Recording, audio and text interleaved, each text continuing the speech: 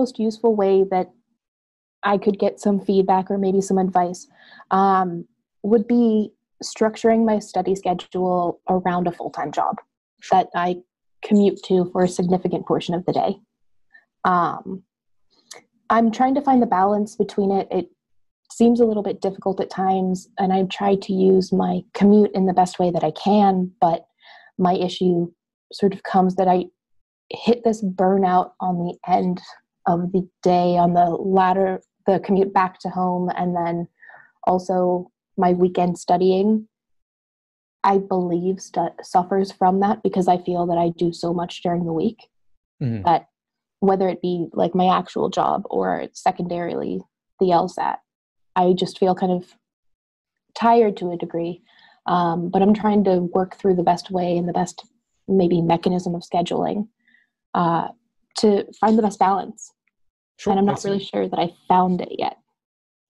That's a reasonable concern. So it's natural that at the end of the day, you would be a bit drained and might not be able to get the best studying possible done. What kind of prep are you trying to do during the commute home? Um, so the commute to and from is probably roughly 40 minutes on a train. Um, and then I drive on either side of that afterwards to actually get home. But the 40 minutes on the train, I try to do drilling of exercises. Currently logic games which are killing me to a certain degree. Um, but i try to drill during that time. And during my lunch hour i try to study from the actual books and try to see where i'm making mistakes and try to go over that because it is a more significant chunk of time that i do have. Um, but I find that at the la- the last commute of the day, I always just find myself veering off of my focus from logic games, and they require all of your focus. And I know that I should be paying more attention to them and you know not looking out the window and ignoring them or answering text messages but it comes to a certain point where you you see the game and you just kind of feel that you don't want to do it at that time um, so I'm trying to fight with myself to be a little bit more motivated at the end of the day. Um, that is one of the major struggles. In the morning, I can do it. I can focus. I can do everything that I possibly need to do. But in the evening, it becomes a large task to undertake. Right. So you've got your commute to work, mm-hmm. you've got lunchtime, you've got the commute home, mm-hmm. then you've got the weekend. Mm-hmm. It's a lot of time available to you. What if you just didn't try to study on the way home? But then I feel like that's time in which could be better used, if you know what I mean. Well, let me rephrase it. What if we change the type of studying you try to do on your way home? Instead of solving that, LSAT problems, what else could you mm-hmm. do? I'm not necessarily sure. I always just kind of think that my commute and the strict idea behind it what is the best time frame that I do have for drilling or doing 35 minute sections or anything like that. Um, and I haven't really considered other options. What do you hmm. suggest? Well, so you talked about trying to do logic games, like trying to do actual LSAT problems mm-hmm. on the train home when you're tired. Yeah. So that, I mean, it's reasonable to try to do that. I've certainly mm-hmm. done problems on the train, and it's not always easy when there's distractions and it's not a quiet environment on top of being tired. But what if you could you could listen to podcasts, you could watch videos, mm-hmm. you could just read articles about the LSAT and the law school admission process, mm-hmm. and you could save the actual question solving for when you're more fresh. Got to it. meet yourself where you're at. And so you know I have the LSAT Unplugged podcast, I have the LSAT Unplugged YouTube channel, and you can pre-download or or save files so that if your signal isn't strong during the commute, you already have them loaded onto your phone, so you can mm-hmm. still li- listen to them or watch them when you're out of service. Perfect, perfect. That sounds like a less intensive way to actually be productive. I I like that idea. Thank you. Sure. Just taking notes, sorry. Of course. Yeah, totally. And then on the weekends, of course, that's your most focused time because you have the whole day before you and you mm-hmm. can make of that whatever you want. You can do full length timed exams, you can do detailed review, you can do several questions by type, whatever is your top priority. Mm-hmm. And then my thought was I so right now I'm kind of at the beginning crawling steps. I'd say maybe I'm a three out of 10 at my journey, let's say. Um, but my question was actually specifically the practice the practice tests on the weekends. Do you suggest that I take one every weekend, or do you suggest that I have like a cap of a certain number? I'm myself aiming towards a like a June July LSAT, um, and I want to be prepared. But the thing is, I don't want to be so run through the material too quickly. Yeah. And not use it to the best potential that it does have for when I could be using it closer to the exam and actually getting the best benefit out of it. Because looking at a question that you've already kind of gone over loses the surprise factor and the actual measurement of what you would do in that circumstance. Of course, yeah. I mean, you've got four to five months or more until your actual LSAT test date. So mm-hmm. I certainly don't think you need to do one exam every single weekend. That would be something like potentially 25 exams or more. Mm-hmm. So I don't think you need to do that. The question is, why are you doing these exams? What are you hoping to get out of them? And have you already built a strong foundation in each section and question type before doing those full length exams? Gotcha. Um, I would say probably, I don't think that my foundation in logic games is as strong as it should be at this point. I'm having a lot of issues with the in and outs, um, like the question types, and just really finding where I should be. I understand the whole idea of diagramming and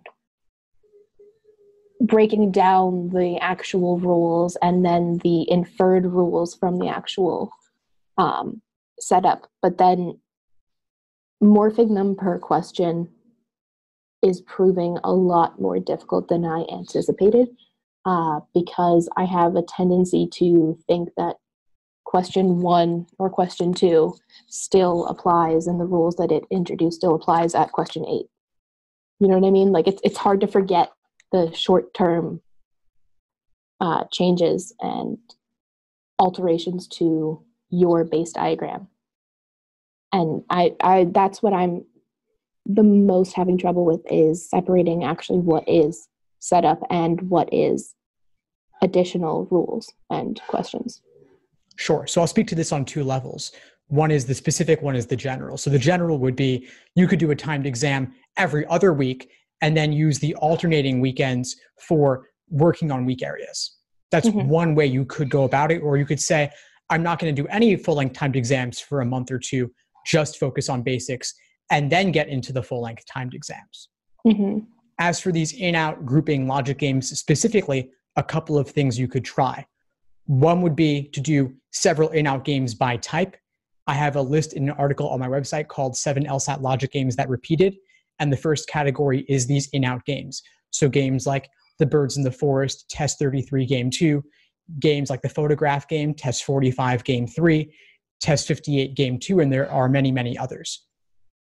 And so working on those games by type to really see the commonalities in terms of making long conditional chains, getting used to not going backwards on those arrows and not inferring too much.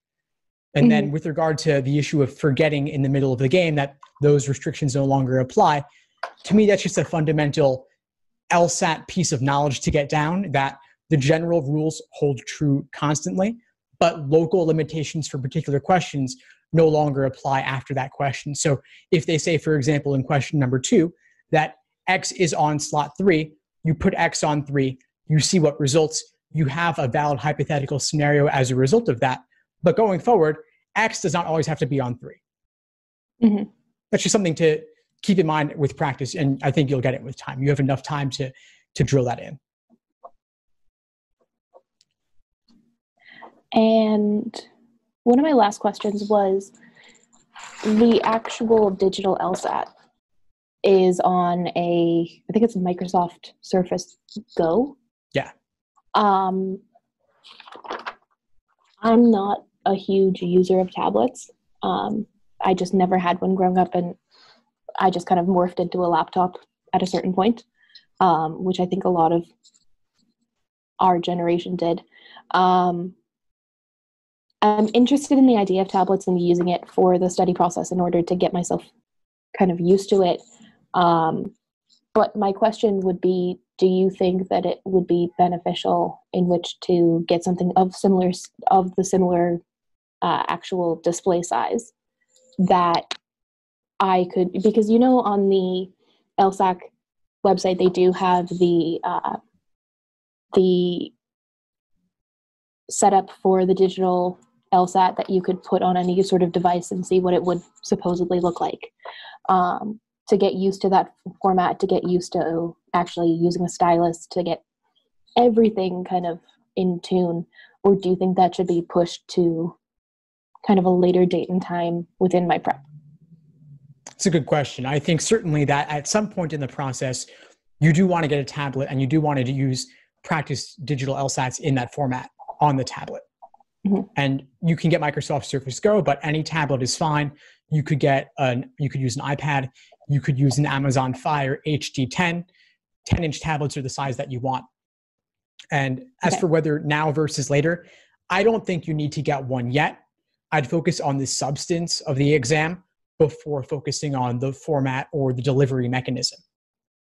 Gotcha. But I wouldn't wait too long.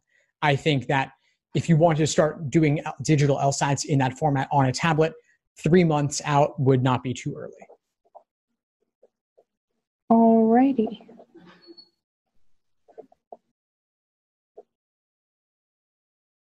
And then I find myself discouraged at certain points because I did take a like a cold pre-test um, to see where I sat, and it makes me angry at myself and just kind of I could have done better and I know I could have done better. Um, but it was something that I didn't know the section substance. I didn't know the how they would be or what I would even look at formatting wise. Um, but I can't seem to shake that idea that that was my first initial score and I'm not happy with it. Yeah, I get what you mean. That's one reason I don't recommend taking cold diagnostics because the results are always discouraging. So you're certainly not alone in being discouraged by that. The LSAT is a foreign language. Mm-hmm. And so, of course, the diagnostic is not going to go well because it'll tell you that you simply haven't learned this yet and that there's a lot of work to be done. So just take those results with several grains of salt. Don't place too much stock in them. And if anything, try to use it as motivation later or as a morale booster later as you can see how far you've come. Gotcha, gotcha. Um, but then also, I think I'm looking at kind of the gauge of where I possibly could be from the very beginning of the cold diagnostic, and I know that it's not recommended to take it on and to really take it into account, but I, I do find myself measuring this is on average what people increase by. This is what I've heard other individuals have increased by, which it might be significant, like a 15 or like a 20 point. But I still find that where I sat for my diagnostic and where I want to be is kind of at the top end of that. And that itself is one of those things in the back of my mind of a lot of people don't make that big of a point difference. Well, there's two different kinds of increases to consider. There's cold diagnostic, no studying at all, to ultimate test A score after tons of studying. Mm-hmm. Those increases are often significant. I personally experienced that myself, going from the low 150s to 175. I have many, many stories on my website called LSAT Diaries where students wrote guest posts chronicling their experience, and you could see there, I have them all organized by their initial starting score and ultimate test A score. Mm-hmm. The other kind of, inc- of retake score change you have is when someone studied, took an official LSAT, then studies a bit more, takes another official LSAT. And those increases are not likely to be as significant because they already studied before doing the first one. So they're right. not, they're, it's apples and oranges. It's not a proper comparison. Right. Gotcha.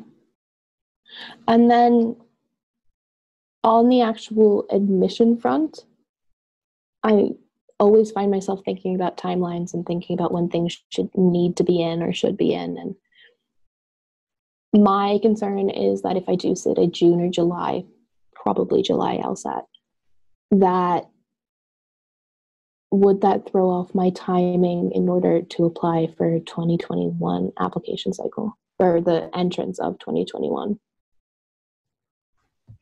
well you're saying taking it in june and july and applying this cycle well applying into the cycle that's coming yeah.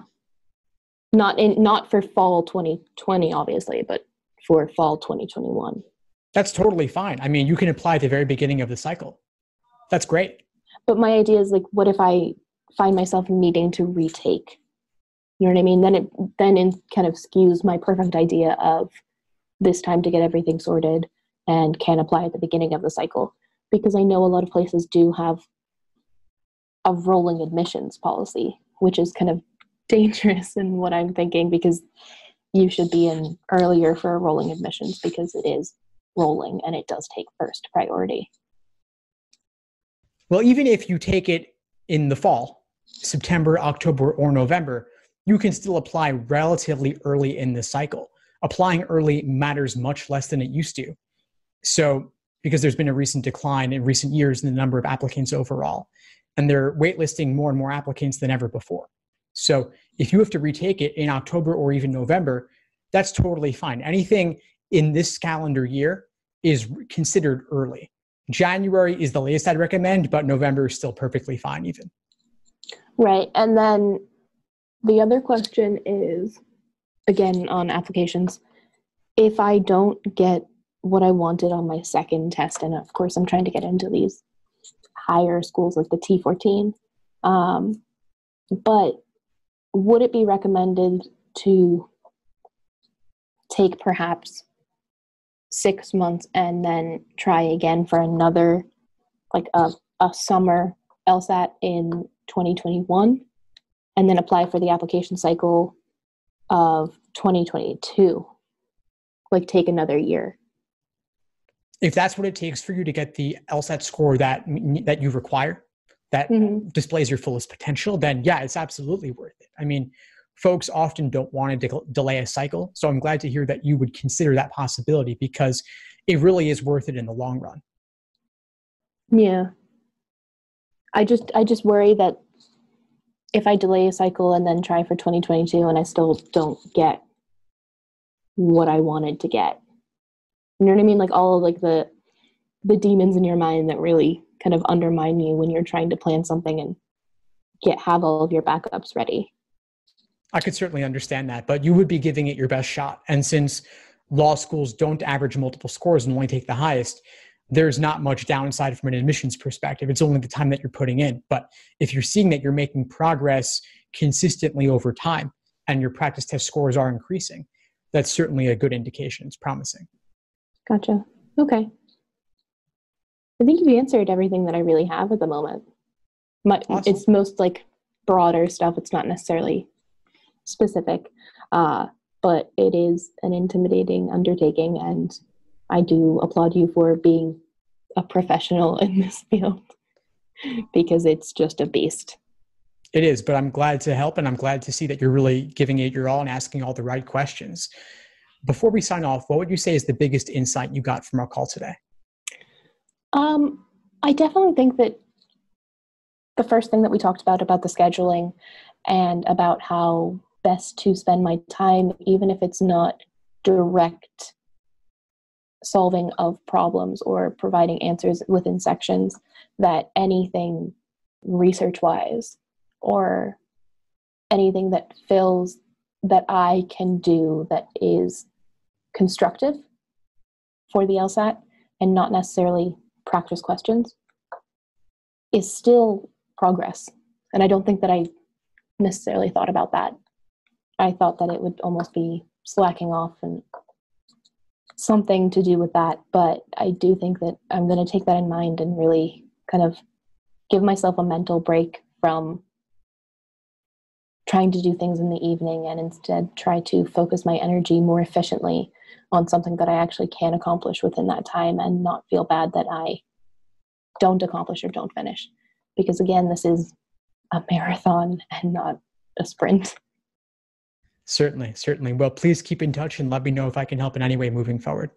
All right. Thank you so much. Thanks for tuning into the show. Please subscribe if you haven't done so already to be notified of new episodes as I release them. And feel free to reach out if you need anything at all as you move forward with your prep. I'm happy to help however I can. In the meantime, I wish you all the best and take care.